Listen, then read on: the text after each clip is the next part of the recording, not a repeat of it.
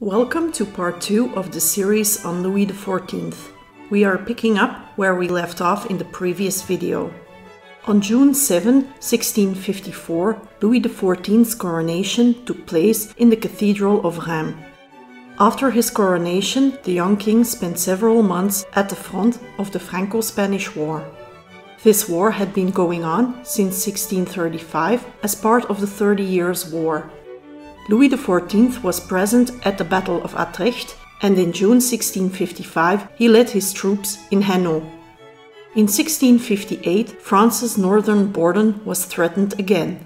Although Louis XIV wanted to personally lead the siege of Dunkirk, it was Marshal Turenne who led the French army. The army's advantage in Flanders posed a serious danger to the Spanish Netherlands. During the military campaign in the Spanish Netherlands, Louis XIV contracted scarlet fever and was bedridden at the front for more than two weeks. After 25 years of war, France and Spain signed the Peace of the Pyrenees Treaty in 1659. The treaty also ended the aspirations of the Grand Condé, who had tried to conquer the French throne with Spanish help. Six months later, the Grand Condé reconciled with the king. Furthermore, the treaty assigned a large area expansion to France. Part of the agreement was a marriage of Louis XIV to the Spanish Infanta Maria Theresia, who was a first cousin of Louis on both paternal and maternal side. Mazarin forced Louis to marry her, although Louis was in love with Maria Mancini, Mazarin's niece.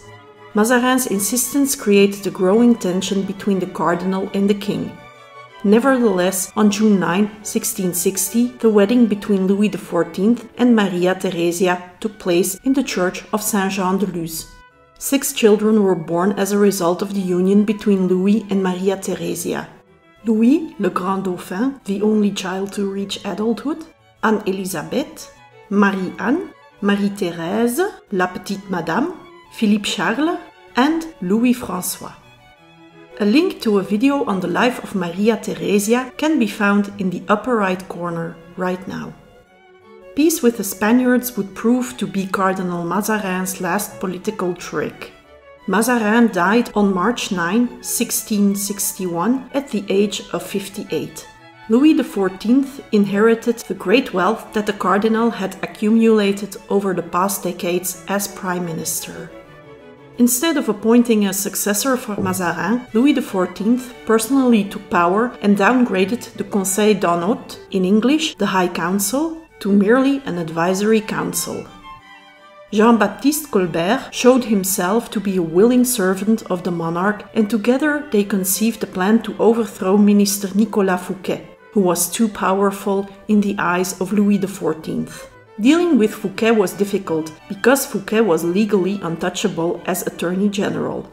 Thanks to Colbert's efforts, the king managed to persuade Fouquet to sell his position as Attorney General. The way was now cleared to arrest Fouquet, which was done by D'Artagnan in September 1661. He was then transferred to the castle of Angers.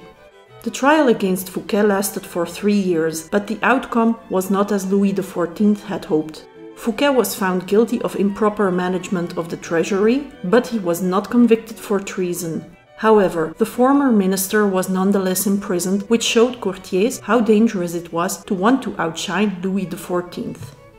From the beginning of his actual reign as king in 1661, Louis XIV placed high importance on public relations. The nickname the Sun King was heavily promoted from 1662 onwards. Louis XIV chose the sun as an emblem because it illuminates everything and the sun is the one thing on which everyone depends. In 1663, Louis XIV founded the Petite Académie. The Académie was described by Colbert as an institution for the preservation of the splendor of the king's deeds. This was the start of the largest propaganda campaign of the early modern period. Under the government of Colbert and Louis XIV, French trade noticed a significant growth. This led, among other things, to the establishment of companies such as the Manufacture des Gobelins. The economy was also further protected by the doubling of import tariffs for foreign products, so called Colbertism. These protective measures were primarily intended to counteract the intrusive trade of the Republic of the Seven United Netherlands in France, which had inflicted much bad blood with French traders and manufacturers. Louis XIV was therefore keen to match the maritime and colonial power of the Republic and England. That is why the Compagnie des Indes was founded in 1664. Progress was also made in terms of law and order with the appointment of the Paris police chief Gabriel Nicolas de la Reynie. In 1667, partly due to the efforts of Colbert, a new civil code was introduced in France, the Code Louis. In 1670, a criminal code followed, the Ordonnance criminelle. In 1665, the Queen Mother, Anne of Austria, fell seriously ill. The doctors diagnosed Anne with breast cancer. She died on January 20th and the Sun King mourned her passing deeply. Because of her death and the fact that Spain couldn't pay the dowry promised for his marriage with Maria Theresia, Louis toyed with the idea of waging war against Spain again. This ends the second part of the five part biography of Louis XIV.